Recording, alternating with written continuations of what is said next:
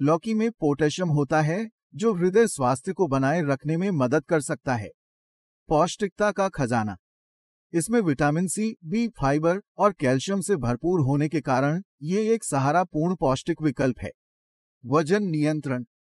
कम calorie और ज़्यादा पानी की वजह से लौकी वज़न नियंत्रण में मदद कर सकती है। पाचन स्वास्थ्य। लौकी में फाइबर पाचन को सुधारने में मदद कर सकती है और आंतरिक स्वास्थ्य को बनाए रख सकती है। Diabetes control. लौकी नियमित सेवन से ब्लड शुगर को कंट्रोल में मदद कर सकती है और डायबिटीज़ के खिलाफ रक्षा प्रदान कर सकती है। एंटीवायरल गुण। इसमें मौजूद एंटीवायरल गुण से यह संक्रमण से बचाव कर सकती है और स्वास्थ्य को सुरक्षित रख सकती है।